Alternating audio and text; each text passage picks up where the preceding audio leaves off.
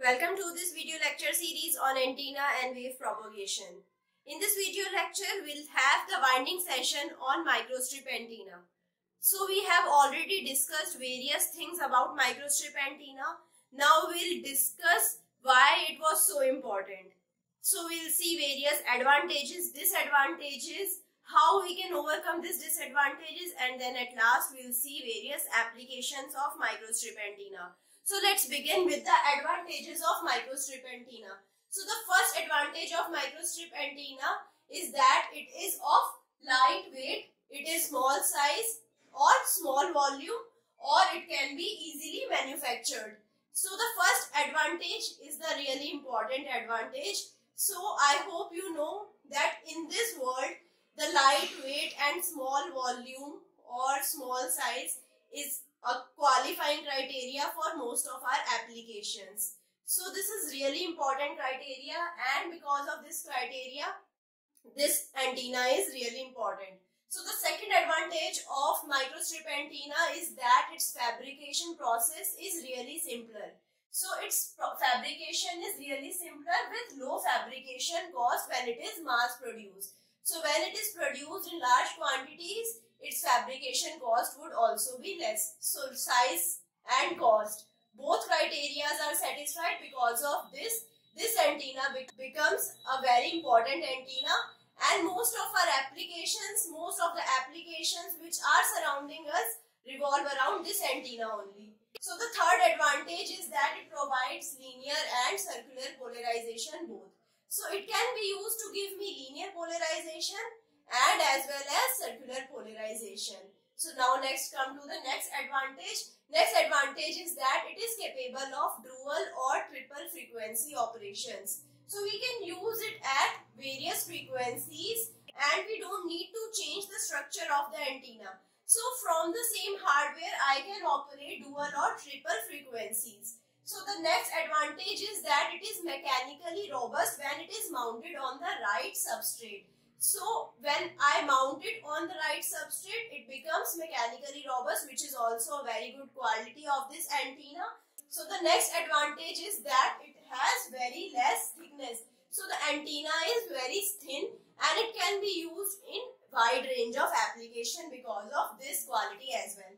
So now the next quality is that feed line and matching network can be easily implemented using antenna surface. So now in my previous video, I gave you the various feed methods of microstrip antenna and I hope you can understand that feed methods are easily implementable and we can easily make them implemented on the surface. So now coming to the disadvantages. Now we have studied various advantages. Now we'll come to the disadvantages. So we have various disadvantages as well.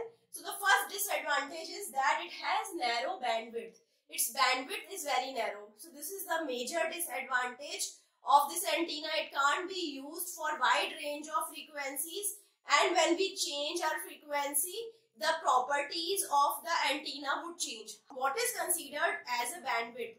On a particular range of frequencies, my various properties of antenna remains constant. But if I change the bandwidth, if I change the frequency, my properties of antenna would change. So now this particular range of frequency is very limited. So I cannot use it for a large range of frequency. It is having a narrow bandwidth. So the next disadvantage is that it has low power holding capacity. It can't hold more power. So now next disadvantage is that it has limitation on gain. The maximum gain we can achieve through this antenna is 30 decibel. We cannot achieve more gain through this antenna. So now next disadvantage is that it has poor isolation between radiating surface and feed line. Because of this reflection would happen and the waves would come back towards the feed line itself. Now the next disadvantage is the excitation of surface waves. I have various surface waves present on the dielectric substrate as well. This is the disadvantage and it limits my functioning of the antenna. So the next disadvantage is that it has poor efficiency. So now we'll see the other disadvantages. So the other disadvantage is that it requires good quality substrates which are expensive.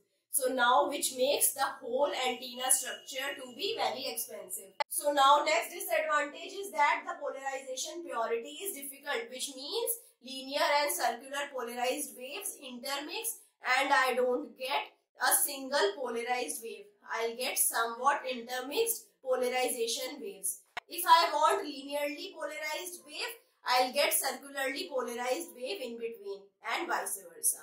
Now the next disadvantage is that it has large size when the frequency of operation is less. So at low frequencies it has large size. So now next disadvantage is that it is sensitive to the environmental factors like temperature and humidity. So when I increase the temperature or I increase the humidity, I'll get some discontinuity in the working of my antenna. Now we'll see how we can overcome these limitations and how we can use this antenna in various range of applications. So first we can use thick substrate. The thick substrate is used to overcome the surface waves and it also helped me to provide the wider bandwidth. So narrow bandwidth problem is eliminated using thicker substrate but we cannot use a very thick substrate because of size constraints. So we have to limit our thickness up to certain limit. So we have already discussed how much we can do this and you can refer my previous video for this. So the second thing is cutting the slots in metallic patch. So if I cut the slots, if I have various slots in the metallic patch, it will help me overcoming the gain and directivity problem. So using this technique, I can overcome various other disadvantages. So next technique is using aperture coupled stack patch antenna. So I talked about aperture coupled antenna feeding also. So you can refer my previous video to see the aperture coupled stacked patch antenna. So you can refer that video and you can see how we can do this and how we can make my antenna more efficient using this technique. So the next technique is introducing parasitic patches either on the same layer or on the top of main patch. So if I have main patch which is getting excited so I can have another parasitic element also which can be placed either on the same layer. Parasitic means which is not fed with the feed line. So it is not excited, it is just placed there. So it is placed either on the same layer or on the top of the patch. So if I have this patch, I can place another patch on the top of it or in the vicinity of it.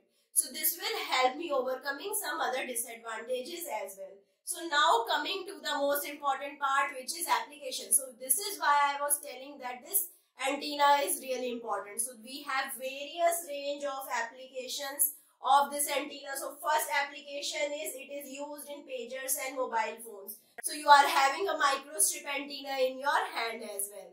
So now next application is radar. I hope you know that radar is radio detection and ranging.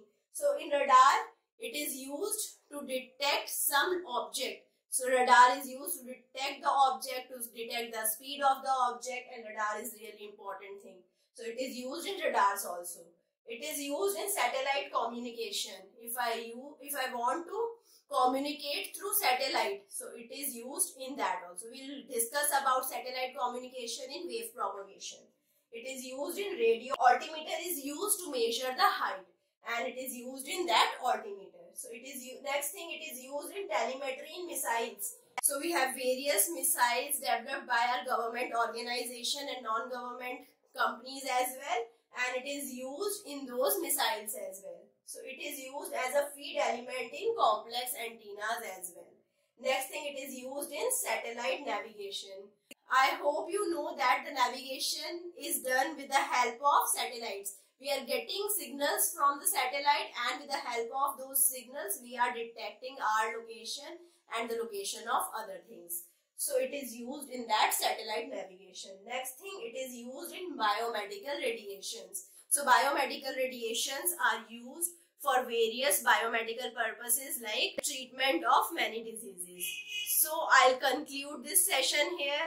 I am done with microstrip antenna and in next sessions I'll work upon various other antennas. I hope you like this video. Like this video, subscribe this channel and stay tuned for the further videos. Thank you.